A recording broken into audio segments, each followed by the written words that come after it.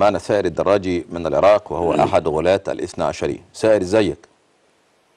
السلام عليكم ورحمة الله وبركاته. وعليكم السلام. طيب أنا أخي استقبالك لي لم يعجبني حقيقة تصفني بأحد الغلاة فإن الغلاة ملعونين على لسان أئمتنا. سلام الله عليهم. مم. لا أنا ما أعرفش بقى المعلومة بتاع انهم ملعونين دي ده من عندك أنت. إنما أنا بقول لك أحد الغلاة لأنك أنت كفرت أمي. اتفضل. آه، من هي أمك؟ اتفضل. عائشة عائشة تفضل. في عندك شيء جديد اليوم. هل عندك شيء جديد اليوم؟ نعم نعم عندي سؤالان عندي سؤالان. تفضل. السؤال الأول لفضيلة الشيخ الزيدي آه، أو الذي يدعي أنه زيد الذي جالس إلى جنب محمد الصابر. السؤال الأول قال فضيلة الشيخ بأن ترتيب الصور آه، حسب ما أنزله الله سبحانه وتعالى وأنه غير مختلف بين المسلمين. ولكن أقول له أن ابن تيمية في مجموع الفتاوي في رقم الفتوى آه، في رقم 353 قال والقرآن في زمانه لم يكتب ولا كان ترتيب الصور على هذا الوجه أمرا واجبا مأمورا به من عند الله. بل الأمر مفوض في ذلك إلى اختيار المسلمين. ولهذا كان لجماعة من الصحابة لكل منهما اصطلاح في ترتيب صور غير اصطلاح الآخر. أما السؤال الآخر لفضيلة الشيخ آه، الوصابي بأنه قلت له ووعدني بأن يذكر مصدر بأن رسول الله قد طلق قتيلة بنت قيس ولم يعطي المصدر إلى الآن وأنا أقول للأخ الزيدي أنا أقول للأخ الزيدي إن كنت تدعي الانتماء لعلي بن أبي طالب والحسن والحسين كيف تجلس إلى جنب أحفاد قتلة الحسين عليه السلام وقتل زيد الشهيد؟ والسلام عليكم لا خليك معانا خليك معانا يا سائر لا لا لا لا تغلق خليك معانا خليك معانا. أنت زيني يا سمعت الشيخ محمد ولا نعم. يعني سني بتمثل علينا. هو ده رأي سائر يعني إنك أنت إيه سني وإحنا جايبينك يعني. السنية هي ميراث المسلمين جميعا. آه. وأنا سني باعتبار أني أعمل بسنة رسول الله صلى الله عليه وسلم. والسلام. وأعتز بأن خلفيتي وفكري ونشأتي زيدية. مم. والزيدية لا تختلف أبدا عن ال- ال- الفكر المتنور المعتمد على الكتاب والسنة. أنت من كبار علماء الزيدية. أنا من الزيدية. نعم. ولا أدعي أن- خلاص يا سائر. هذا عشان شيء. بس ما تكذبش على الرجل يعني الشيء اتفضل. الثاني يسأل علي الكوراني آه يسأل علي أنا الكوراني. أنا أنصح ثائر الدراجي آه أن تسأل شيخك علي الكوراني الذي استضاف الشيخ محمد سالم عزان في بيته مم. وكان يقدمه عند المرجعيات ويقول لهم هذا العلامة الزيدي مم. اسأل علي الكوراني الذي يعرف محمد عزان نعم، أحسن نعم منك نعم نعم كان عبيد الله بن عباس صاحب لجيش الإمام علي عليه السلام وباع نفسه بجريهمات لمعاوية. طيب طيب جميل. طيب لحظة. في آه. في- أجيبها هو. ذكر شيء مهم. كم بعت نفسك يا رجل؟ آه، ذكر شيء مهم وهو أن لماذا قال تجلس مع أحفاد من قتلت قتلوا؟ الحسين. آه. طيب لو فرضنا أنهم آه، أجدادهم قتلوا الحسين مم. فما ذنبهم هم؟ هذا حتى بال- بال- بالمنطق الشرعي والعقلي والإنساني. فهذه المبالغات هذه المبالغات هي التي آه، تمزق شمل المسلمين. يا أخي إن كان أجدادنا قد اختلفوا فقد قدموا إلى أعمالهم. يعني سواء كانت الرواية صحيحة أو غير صحيحة لماذا نستحضر الماضي إلى الحاضر؟ لا تزر وازرة وزر أخرى. لماذا نستحضر الماضي, الماضي إلى الحاضر؟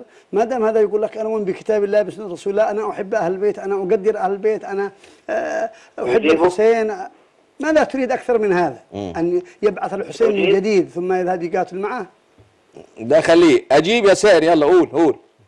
أقول أقول لك أقول لك. آه الحسين عليه السلام قبل أيام حدث هناك انفجار واسع في البصرة وقتل 60 من زوار الإمام الحسين والذي قتلوه وبارك لهم هؤلاء الذين يجلسون أمامك الآن ماذا تقول؟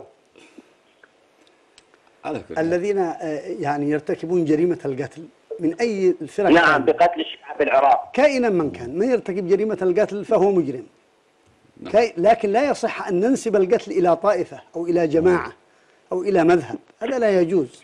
مم. لأن هذا هي كلها من وساوس الشيطان التي يعني تؤدي إلى تفرق الناس وتشتتهم. من قتل فهو مجرم من فجر فهو مجرم. لكن ما ذنب طائفته؟ إذا كنت مثلا أنا من الزيدية وذهب أحد الزيدية يرتكب بعض المنكرات فما شأني أنا ما ذنبي أنا مم. هذه الأشياء لا طيب يجوز سائر يا سائر طيب. انت انت لا استنى يا سائر اذنك سأجيب على- شيخ. سأجيب. يا سائر يا سائر اسمع بس كلامي الشيخ محمد سالم معزان قال لك إن ليه بتحملوا دول وزر دول؟ أنت ما جاوبتش عليه أنت خرجت مع القتل في مش عارف آه، زوار الإمام الحسين وغير ذلك من التفاهات. وقد قتلتكم إيران وأنت تعلم هذا لما بتقول دراهم معدودة. يعني هم لما استضيف الشيخ في إيران كانوا أكيد هيرشوه يعني كما رشوك ورشوا غيرك من المعممين والسيستاني وغير ذلك. طيب قول لي دلوقتي يا سائر اسمع كلامي سؤالي سؤالي بس عشان بس نضبط الحوار. الشيخ رد عليك قال لك ليه بتحملوا إذا كان أجداد دول فرضا؟ قتلوا الحسين. ليه بتحملوا دول؟ والله في قاعدة قرآنية قال لا تزر وزرة وزر أخرى. يعني أنت لو أخوك سرق. يقطعوا إيدك أنت ولا يقطعوا إيد أخوك؟ لا. رد على سؤال الشيخ قبل ما تخشنا في في في تفجيرات في مرة في المراقد المزعومة بتاعتكم دي. قول. ها. ليه بتحملوا كل السنة؟ اسمع نعم، كلامي. إن ما ردتش على سؤالي هغلق عليك الخط. أنت عارفني أنا أنا معك واضح وصريح. رد على جواب الشيخ عزان عشان يعني سؤال الشيخ عزان عشان نكمل معك الحوار. لماذا تحملون السنة أنتم كشيعة في العالم ذنب مقتلة الحسين على فرض أن أجدادنا هم قتلوه؟ تفضل. الذي عقر ناقة صالح رجل واحد فعمهم الله بالعذاب لما عموه بالرضا. هذا قول الإمام علي عليه السلام. كذلك الإمام الصادق عليه السلام عندما سئل عن هذا السؤال أجاب أن الإمام المهدي سلام الله عليه سوف ينتقم من ذرار قتلة الإمام الحسين عليه السلام لكونهم قد رضوا بفعل آبائهم. ما دام أنهم راضين بقتل الحسين فسوف يقوم الإمام المهدي نسمع رد الشيخ والشيخ؟ نسمع رد الشيخ والشيخ؟ شكرا. طالما ان إحنا راضيين. هل أنت شققت على قلوبنا؟ نعم مفتي المملكة السعودية نعم. قال بصريح الكلام. أقول يزيد ابنه يزيد أمير المؤمنين. وإن يكن ما يكن عليه لكن أمير المؤمنين وله مواقف طيبة.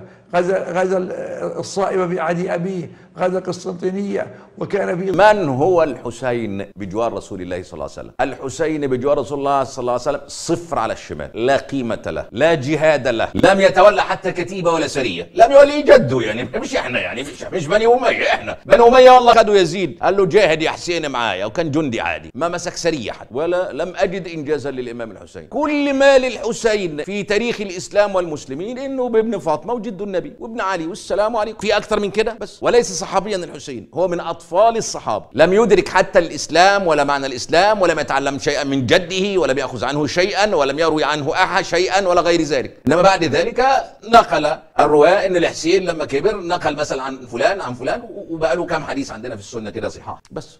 ادي الحسين تمام؟ إنما واحد مثلا زي سيدنا أبو هريرة أفضل من الحسين ما بنتكلمش في أفضلية المقامات بنتكلم في أفضلية العلوم. أفاد الأمة ب 5000 وشوية حديث. إنما الحسين ولا شيء. خدوه الشيعة بقى عشان هو لا قيمة له ولا قدر له وعملوا منه إله. ويصير يزيد يقتل الحسين؟ يصير. لأنه خرج عليه مثل ما علي قتل طلحة والزبير يصير. يقادر على معاوية أيضا قتله. مع أن معاوية وطلحة والزبير كانوا يريدون ق- قتل الفئة الباغية اللي كانت مع علي هؤلاء مجرمون اللي كانوا معه الصحابة رادوا يقاتلون الفئة الباغية بأمر الله تعالى فقاتلوا التي تبغي حتى تفيء إلى أمر هو يصيح الحسين وثورة زين شنو مبادئ هاي الثورة؟ ما ما هي المبادئ اللي يقول لك الحسين؟ أصحح دين جدي هو هذا أول ما بدا فاسد أول ما بدا فاقس زين هو دين جدا ودين دين رب العالمين ويا العنصريه دين جده شنو؟ دين جده إرث يعني هو؟ هستيريا. وهذا هاي هاي العقليات في هاي تخرج عمل فكره يعني